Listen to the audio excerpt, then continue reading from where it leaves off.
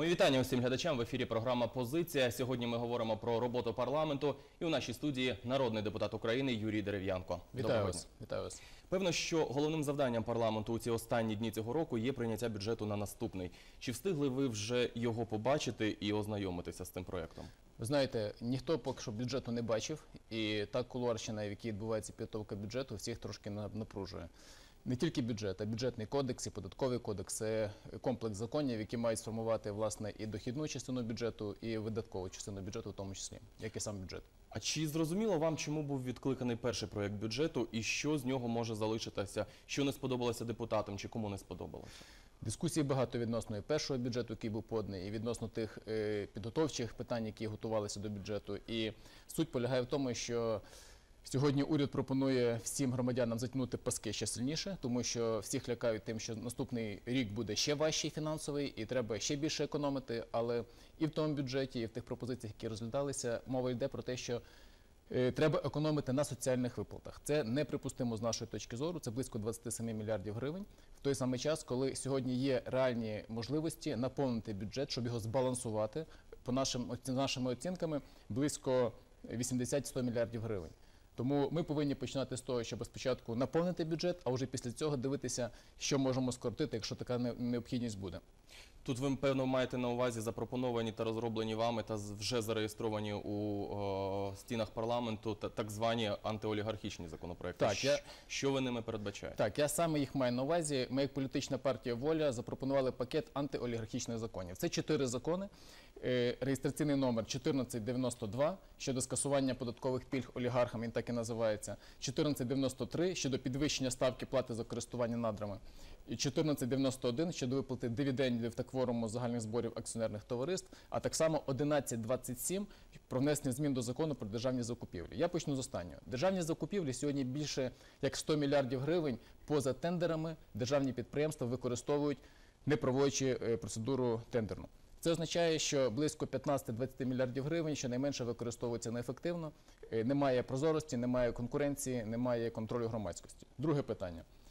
Щодо е, підвищення ставки плати за користування надрами, ми чудово розуміємо, що е, пропозиція затягнути паски не стосується тих, хто сьогодні видобуває нафту, газ, хто сьогодні не видобуває е, іншу руду для металургії. Ми пропонуємо підняти податки на ці види рентних платежів для того, щоб наповнити бюджет. 1492. Скасування пільг податкових олігархів. Політична партія воля категорично наполягає на тому, щоб ту пільгу, яку сьогодні мають олігархи, а щоб ви розуміли, що це таке. Якщо всі інші підприємці сьогодні повинні платити податки з усієї своєї діяльності, якщо вони займаються продажем за кордони, так і інше, то величезна кількість великих підприємців, так званих олігархів, сьогодні згідно чинного закону їх можуть не платити. Ці зміни е, в законопроекті 14 Тобто найбільш заможні платять Найбільш менше. заможні вони законно мають право їх не платити, коли вони експортують свою продукцію, чи метал, чи хімію за кордон, і таким чином, продаючи за світовими цінами свою продукцію, вони можуть продавати в середині країни країни фактично за собівартістю, не сплачуючи жодних податків, а на своїх офшорних компаніях чи на інших закордонних компаніях отримувати ці прибутки. Ми вважаємо, що це треба категорично скасувати. Це дасть наповнення близько 70 мільярдів гривень в бюджет уже поточного року, і це треба зробити негайно. Я не розумію, чому уряд зволікає з цим і чому це питання в програмі дій уряду було перекладено тільки на 2016 рік. І одне питання наступне: 1491 законопроект щодо виплати дивідендів та кворуму загальних зборів акціонерних товариств. Ми знаємо, що сьогодні є блокуючі пакети великих е, державних підприємств. Які сьогодні не дають можливості виплатити державі дивіденди, тому що менеджмент і ті приватні приватні акціонери, які є, вони зацікавлені в тому, щоб кошти залишалися в компанії, щоб компанія могла тими коштами користуватися. Це не дає можливості зробити, тому що в нас сьогодні кворум 60 плюс 1 акція. Ми пропонуємо зробити кворум 50 плюс 1 акція, виплатити державі дивіденди, е, в цей спосіб наповнити в тому, в тому числі бюджет.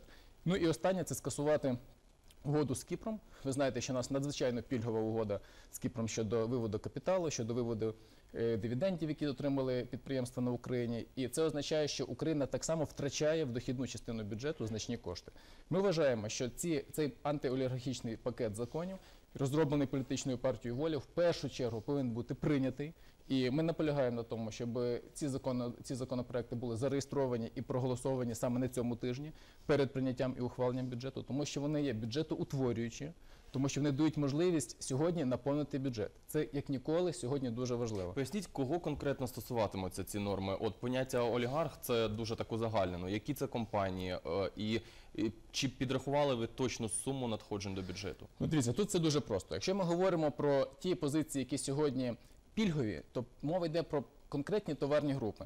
Це товарні групи, які стосуються металургії, нафти, газ, е, залізної руди, е, гірно-видобувних комплексів. Тобто мова йде про інтереси Фірташа, таких е, підприємців великих олігархів, як Фірташа, Ахметова, Бойка, Курченка, Пінчука, Льовочкіна, Клюєва. Е, Всіх інших олігархів, які сьогодні володіють цими підприємствами, і саме під них ще за часів Януковича цей закон про так зване трансфертне ціноутворення, зміни до до податкового кодексу, так були прописані, що вони тільки попадають під цей закон аж у 2018 році. А в 15-му, 16-му, 17-му вони можуть законно не платити податки з тієї підприємницької діяльності, які стосуються їхніх компаній, де вони є власники. Та сама ситуація стосується, коли ми говоримо про користування надрами. Це нафта, газ, залізна руда. Це ті підприємства, які сьогодні е, експортують, як правило, продукцію.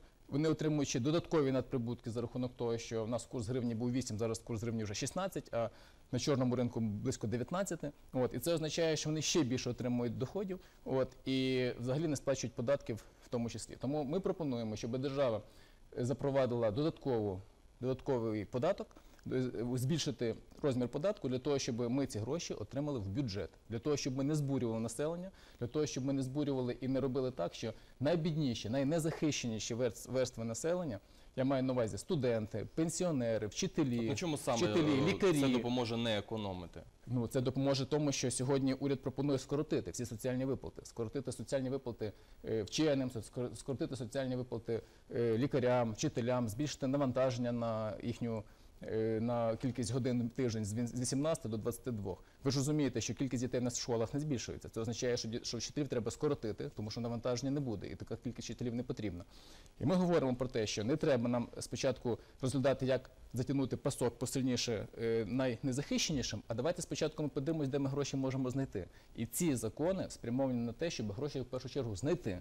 А після цього, коли ми побачимо, що їх недостатньо, будемо розглядати інші питання. Оце наша позиція відносно формування бюджету. Мало того, якщо ми це зараз не зробимо, то це однозначно спричинить величезний, е, величезне обурення і величезний протест людей. Навіщо це робити? Навіщо це робити, коли в нас зараз в країні війна, коли нам повинен потрібен спокій, коли нам потрібно, щоб люди навпаки з розумінням поставилися до всіх тих рішень уряду і рішень е, парламенту, які ми зараз повинні приймати. І тому, якщо ми в першу чергу не зробимо такі кроки, то люди нас не зрозуміють. Як ви оцінюєте шанси на ухвалення цим парламентом, який експерти називають чи не найзалежнішим від великого капіталу? Я з вами повністю погоджуюсь, що цей парламент найбільш залежний від великого капіталу, що е, великий капітал сформував сьогодні е, фактично склад коаліції і склад більшості, і це буде тест.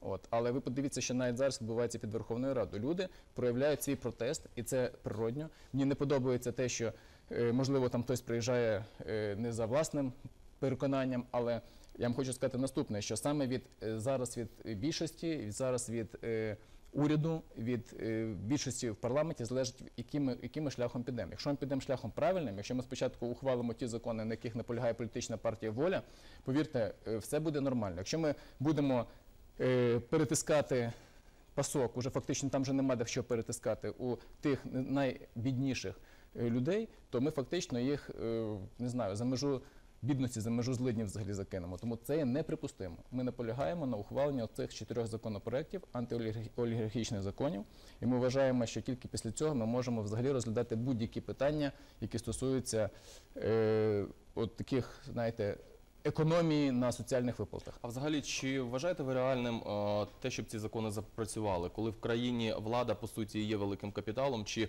будуть дотримуватися цих законів, чи буде бізнес ділитися е, з країною? Ви знаєте, я вважаю, що зараз той час, коли е, великий капітал повинен зрозуміти, що або він виживе і взагалі країна буде, країна буде е, жити, або це спричинить чергову хвилю е, ну, нестабільності. Тому, на мій погляд, великий капітал зараз повинен бути зацікавлений в тому, щоб поділитися, щоб почати платити чесно податки на рівні з усіма іншими підприємцями, от і зберегти спокій, зберегти країну, зберегти всіх. Люди змили Януковича. От і так само, повірте, немає жодного сьогодні олігарха в країні, який міг би протистояти протистояти людям. Цього не буває і цього ніколи не буде. Тому нам важливо, щоб уряд робив всі кроки дуже прозоро, щоб ми могли дуже прозоро обговорювати всі всі питання, які стосуються змін до бюджету, до бюджетного кодексу. На превеликий жаль, поки що ми не маємо навіть проекту цих документів.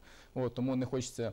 Е, Знаєте, заб- забігати наперед з великою критикою, але в першу чергу ми пропонуємо дуже конструктивні речі.